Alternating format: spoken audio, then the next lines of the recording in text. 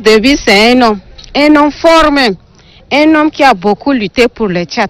Donc le Tchad doit s'inquiéter beaucoup parce qu'il n'y a pas président ici en Afrique comme Idriss Déby qui a pu euh, vraiment lutter contre son pays. Quoi. Donc président Idriss Déby, c'est un homme. C'était un peu dommage, c'était malheureux. Nous voulons la paix seulement. Nous voulons la personne qui veut venir gouverner.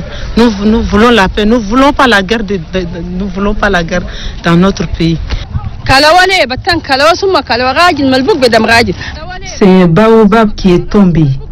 La mort nous a arraché notre président. Pourquoi en ce moment? Pourquoi lui? C'est émouvant.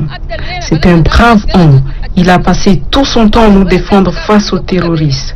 Et voilà qu'ils s'en est allé. Que Dieu accueille son âme dans son royaume. Maintenant, là, on a tellement peur. Là où on est là même là, il n'y a pas la liberté. On est là sur pied comme ça, tu vois. Ça fait tellement mal. Faut que, bon, Dieu, je, je prie que Dieu change ça, quoi. Nous avions appris hier le décès de notre président Idriss Déby Itno. C'était douloureux, mais nous ne pouvons rien contre la volonté de Dieu. Nous allons beaucoup prier pour que son âme puisse se reposer en paix.